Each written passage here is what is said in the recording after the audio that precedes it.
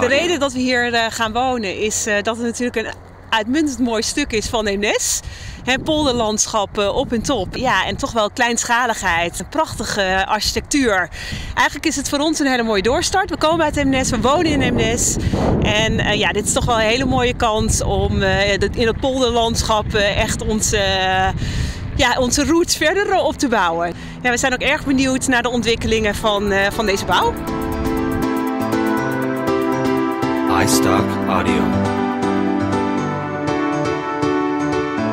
iStock Audio.